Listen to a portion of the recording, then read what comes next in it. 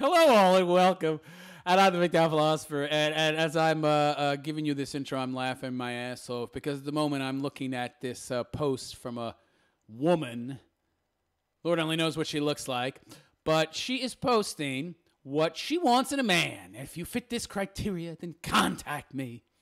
I love the, the their intro message. Men don't approach ask me out unless you meet the following criteria. Now, automatically, uh, this tells you something about the entitlement issues of women women in general. And if you think that this woman is in any way different than the majority of women, you are kidding yourself.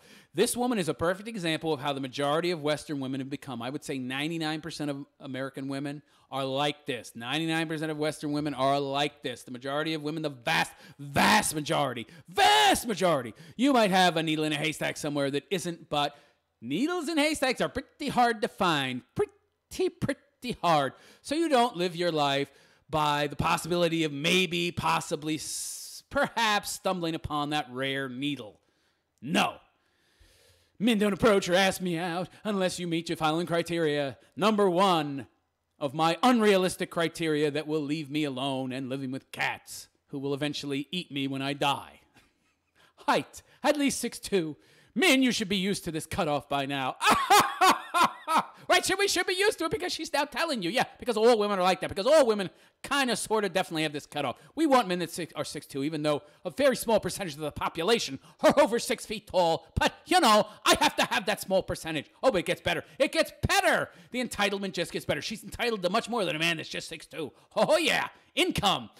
No less than 85,000 per annum. She's trying to sound intelligent. She means per year. Really? You know how few people actually make that much money? So if you couple the six two or more and uh, 85 per year, you're talking about a very small percentage of the population.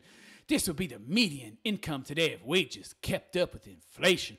Oh, I see. You're very reasonable in requesting this income because that's what it should be. So this is just the median. So I'm not asking anything that's all that uh, unusual. I'm not asking too much. This is what the median income should be.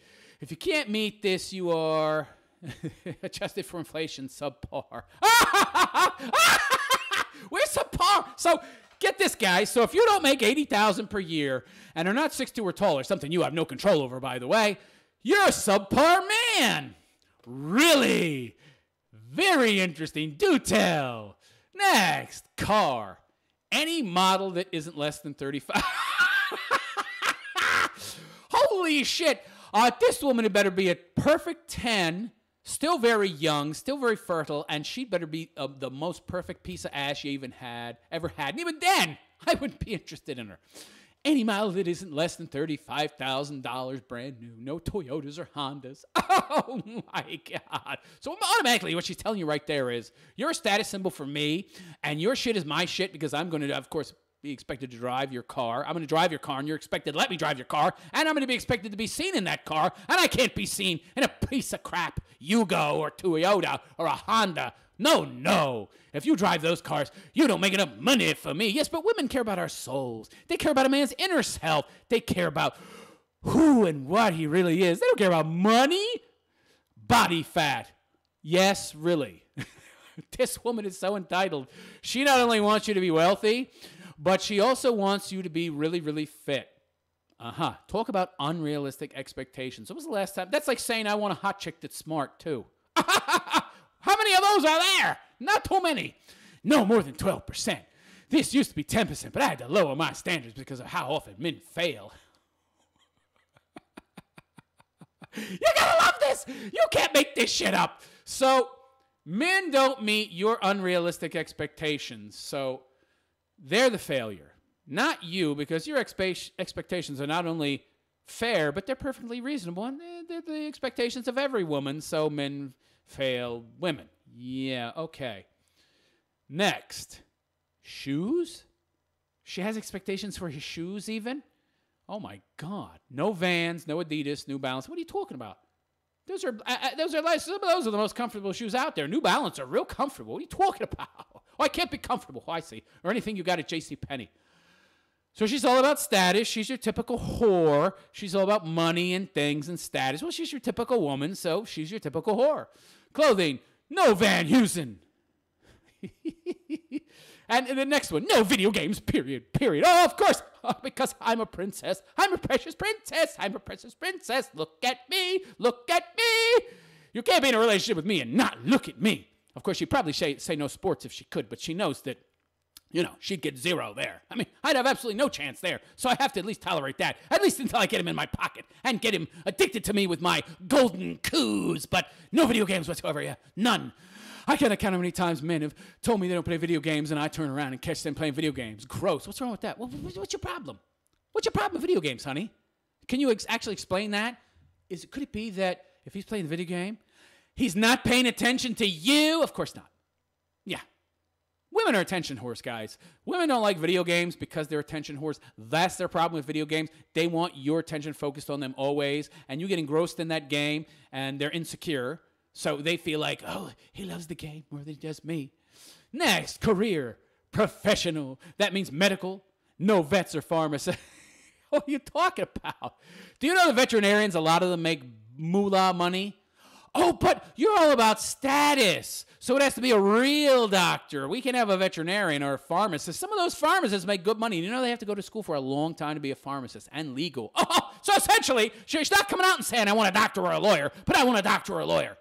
I love how these feminists try to change the uh, uh, language of things to make you think that they're not your typical, average, feminist woman cunt that wants a doctor or a lawyer. I want a doctor or a lawyer. I want a doctor or a lawyer, yeah. Medical or legal. Yeah, she doesn't say doctor or lawyer because that would be, be just too too typical, huh, too too obvious. Which is, but you are typical and obvious of all women. You're the typical woman. You want a doctor or a lawyer. Must spend time inside a courtroom. Yeah, she's seen too much TV. Uh, we'll consider exceptions if an aerospace engineer, perhaps civil as well, plus 25% on the income requirement in the latter case.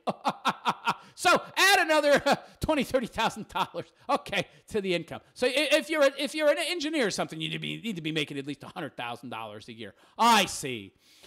Next one is absolutely no gamers or computer geeks.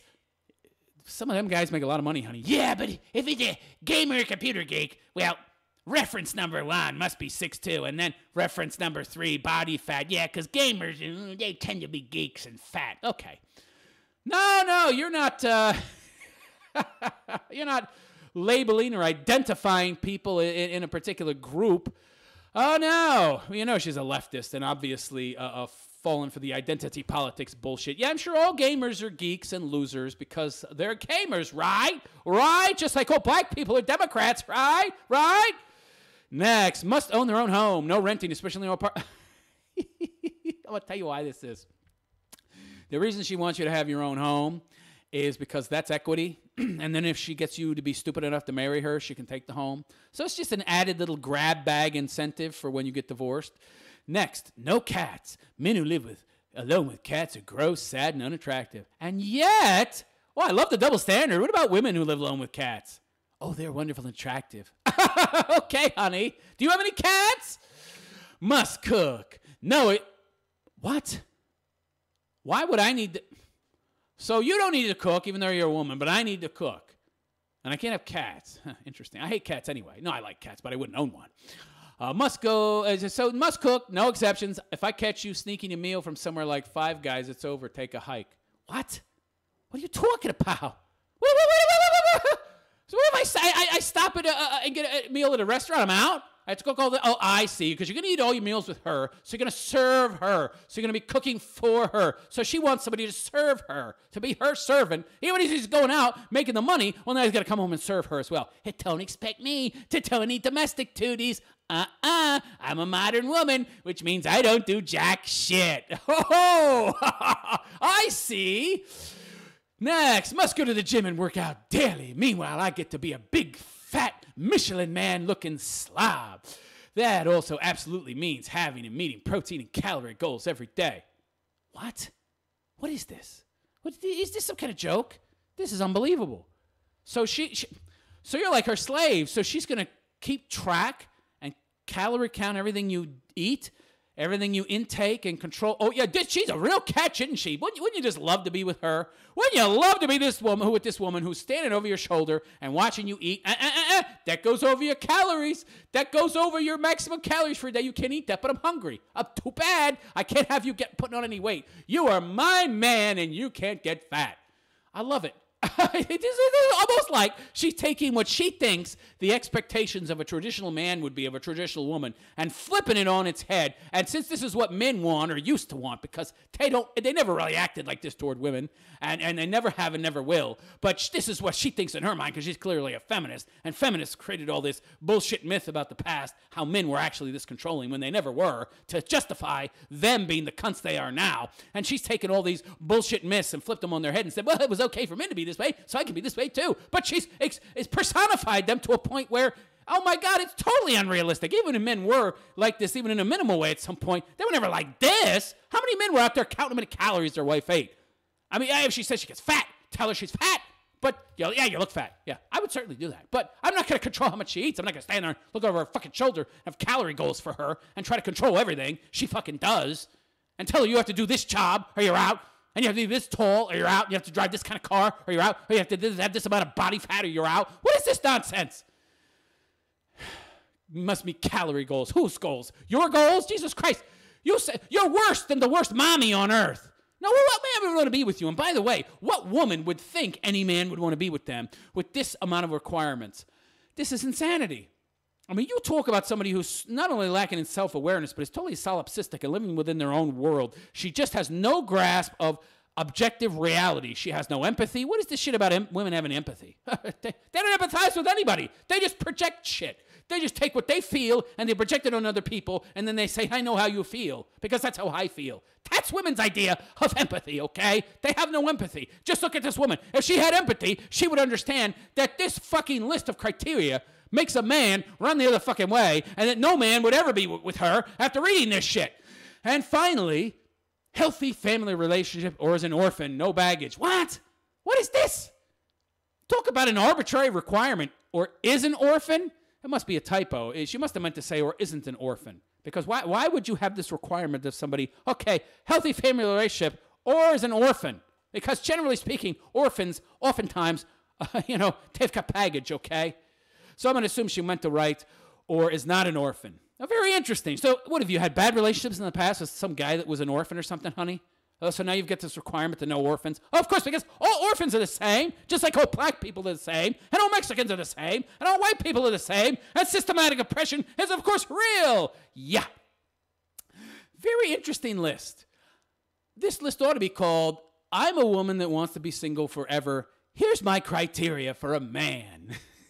she doesn't want men to have cats, but I guarantee you, if she doesn't have any cats now, she's going to have a whole hell of a lot of them, and they're going to be chewing on her feet and toes after she dies, miserable and alone.